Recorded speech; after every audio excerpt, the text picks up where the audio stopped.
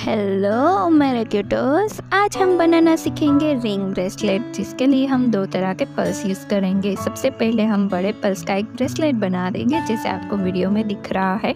उसको हम इस तरह से सील भी कर देंगे, जिससे हमारा ब्रेसलेट टूटे नहीं। फिर हम लेंगे छोटे पर्स उसको भी हम इलास्टिक थ्रेड में इस तरह से बीट्स करते जाएँगे और उसको हम हमारे फिंगर में रिंग का नाप लेके नोट बना देंगे फिर उसी थ्रेड में हम दूसरे रिंग भी इस तरह से बनाएँगे और नाप लेते जाएँगे और बीट्स करते जाएँगे। फिर हम लास्ट में उसको हम बड़े बड़े ब्रेसलेट के साथ इस तरह से नोट बना के टाई कर देंगे। फिर हम उसको भी सील कर देंगे। इसी तरह से हम सारी फिंगर को सजा देंगे। हमारा रिंग ब्रेसलेट रेडी हो जाएगा। Thank you guys for watching